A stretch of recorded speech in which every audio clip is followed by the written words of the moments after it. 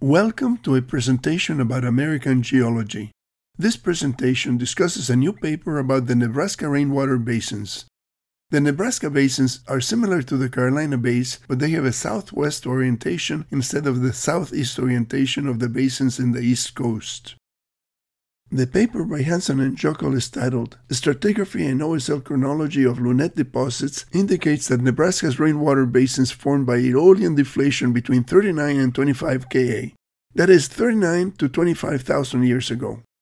The abstract says the rainwater basins are northeast southwest oriented deflation basins on an Aeolian sediment mantle remnant alluvial plain south of the Platte River in central Nebraska. Many of them hold runoff, at least seasonally, most basins are ovoid with long axes ranging from 1 to 2.5 kilometers in length and lunettes are commonly found along their northeastern and or southern margins that stand 8 to 12 meters above basin floors. Core stratigraphy indicates that the basins were eroded from Pleistocene alluvium and Aeolian sand and later mantled with loess. Lunettes consist of very fine to medium sand capped by Peoria loess. The text of the document says that geomorphologists have generally agreed since at least the early 1980s that Nebraska's rainwater basins are products of Aeolian deflation, but divergent theories have also been proposed, including extraterrestrial impact structures potentially related to the Carolina Bays, for example, Zamora 2017.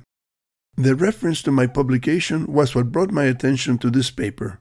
My publication proposes that the Carolina Basin and Nebraska basins were created by oblique secondary impacts of glacier ice ejected by an extraterrestrial impact on the Laurentide ice sheet. The idea that the Nebraska basins were geologically related to the Carolina Bays was presented by William Zanner and Mark Kuzila at the GSA annual meeting in November of 2001. This presentation preceded by at least five years the publication of the Younger Dryas impact hypothesis, which involved an extraterrestrial impact. The abstract by Zanner and Kuzila says our hypothesis is that the basins on the current land surface originally formed as blowouts or low spots in abandoned Platte River fluvial sands and gravels. The term Aeolian deflation is now used instead of blowout. Hanson and Joeckel say that their study is the first to systematically study rainwater basins by providing age control that directly dates basin features, thereby linking their development to widespread climatic and environmental changes during the late Pleistocene. Figure 1 of the paper has a map of the rainwater basin plains showing the basins, major rivers and cities, and the pre Illinoisan glacial limit. The map also identifies the location of the four areas of study Kearney, Axtell, Fairfield, and Fairmont.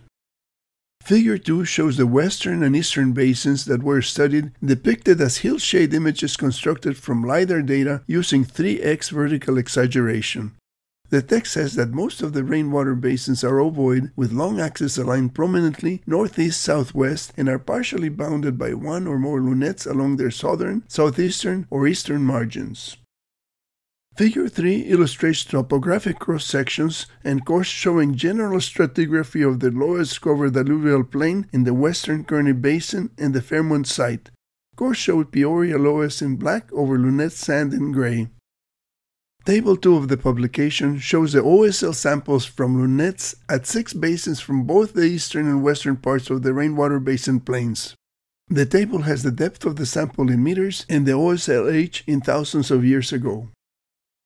I created a scatter plot of the OSL age on the horizontal axis and the sample depth on the vertical axis based on the numbers in this table. From the geological law of superposition, we would expect the OSL age to increase with depth. The plotted points do not show the simple linear trend that I anticipated. This suggests complex depositional histories for the terrain with very scrambled stratigraphy. Hanson and Joeckel claim that Kruger and Kuzila demonstrated that the basins formed by Aeolian deflation and that lunettes formed by the accumulation of deflated sediment immediately downwind. This is an inaccurate statement. There have not been any demonstrations showing that the Nebraska basins were formed by deflation. There have only been proposals, opinions, and hypotheses. The reference to Kruger is an unpublished master thesis. Kuzila's work has been published, but it did not demonstrate that the Nebraska basins were formed by Aeolian deflation. What Kuzila actually wrote was that it is possible that the pre-Gilman Canyon surface was altered by erosion and deflation resulting in the formation of basins and accompanied ridges. This possibility is only a hypothesis without proof or experimental evidence. It is very different from the statement that it is possible for hydrogen to combine with oxygen, which is a hypothesis that can be confirmed by experiments. Kuzila also said that the erosion and deflation processes may have been severe enough to expose and deflate sandy material similar to that found below the buried soils in his study. Again, the strength and severity of the hypothetical deflation process is another assumption without material proof. Kuzila says that evidence of the deflation of these sands is suggested by soil surveys from the eastern rain basins that show the presence of sandy materials within lunettes. It is very clear that the Aeolian deflation mechanisms for creating the Nebraska basins are only suggestions, proposals, speculations, opinions, or purely hypothetical ideas that have not been physically demonstrated by ground observations or by experiments as implied by Hanson and Joeckel. If the wind could make basins, there would be new basins along the path of tornadoes. Instead, tornadoes leave wide swaths of blown down trees and wrecked houses broken into splinters, but even these powerful winds don't form new basins. Hurricanes don't create new Aeolian basins either. The Aeolian deflation hypothesis for the creation of the Nebraska basins is an unproven idea. If the winds of tornadoes and hurricanes are not severe enough to create basins, what kind of winds are needed? Geomorphologists who support the idea that Nebraska's rainwater basins are the product of aeolian deflation need to come up with better physical explanations. I will now compare the gray images in the Hanson and Joeckel paper with the colorized LiDAR topography at cintos.org. The basin in Figure 2a has been greatly deformed by a meandering fluvial channel. The size of the basin is difficult to estimate due to the extensive erosion. Figure 2b does not look like a Nebraska basin at all. The LiDAR image does not show any oval or elliptical features typical of the Nebraska basins. Figure 2c shows a pair of connected basins, both of which have elevated rims or lunettes on their southeast side. The dates obtained from the lunettes vary from 24.3 to 30.4 Ka. Figure 2D shows a basin whose western rim has been severely eroded and is connected to a smaller basin on its south. Figure 2E shows several overlapping Nebraska basins. All the basins have well-defined southern rims. Several years ago, I made a video about these particular Nebraska basins, which are located in the Massie Lagoon waterfowl production area about 2.5 miles south of Clay Center, Nebraska. The LiDAR image shows a series of basins that overlap, which according to the impact hypothesis means that these basins were made by a quick succession of adjacent oblique impacts. You can find a link to this video in the description below. Figure 2F does not look like a Nebraska basin. It has a triangular shape and it does not have the same orientation as other adjacent basins.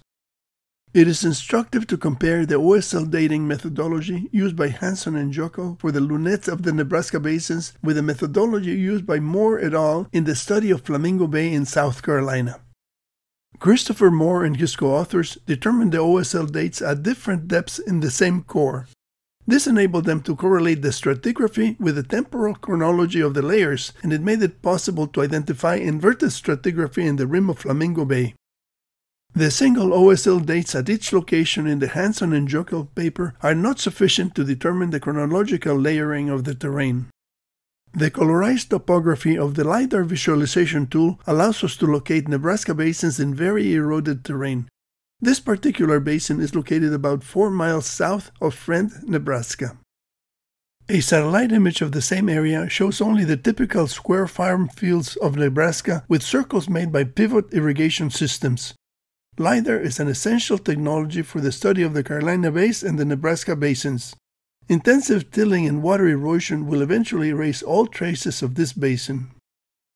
The colorized topography has enough contrast to allow us to fit an ellipse to the basin by the least squares method. The basin has an elliptical geometry that differs by 2.2% from a mathematical ellipse. We have to wonder how Aeolian deflation can achieve such mathematical perfection, but we also need to question whether the purported Aeolian mechanism could have produced this basin. The program that fits the ellipse to the basin also calculates an azimuth of 257.28 degrees. If we draw a great circle trajectory along this azimuth, we encounter Lake Michigan and Saginaw Bay, which are convergence points for the orientations of many Carolina Bays and Nebraska basins. Let us assume that this Nebraska basin was made by the oblique impact of a piece of glacier ice that was ejected by an extraterrestrial impact on the Laurentide ice sheet. From ballistic equations and yield equations that correlate crater size to projectile diameter, we calculate that the ice projectile that made this basin had a diameter of 430 meters and impacted at a speed of about 3 kilometers per second. The energy of the impact was equivalent to about 40.9 megatons of TNT. That is a lot of energy, but it is what it takes to make an elliptical basin measuring 2.1 kilometers in length. There are many Nebraska basins that have mathematically elliptical geometry and are oriented toward the Great Lakes. The secondary impact model is criticized because it is not supported by stratigraphic analysis and geochronological data, but the Aeolian deflation model disregards the constraints imposed by the geometry of the basins and the radial alignment toward the Great Lakes. Eventually, these divergent models could be combined to describe a landscape of basins formed by secondary impacts of glacier ice that were subsequently altered by water erosion and aeolian mechanisms.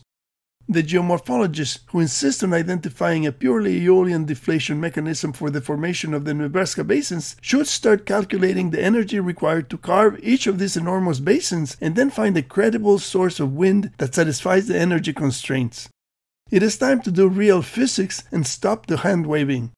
The source of wind to form each basin will probably need to be many times more powerful than the Category 4 tornado that devastated London, Kentucky on May 16, 2025. Thank you for joining me in the study of the Carolina Bays and the Nebraska basins. Ask your geology professors to discuss the Carolina Bays because they are the most prevalent geological structures in the Atlantic coastal plain.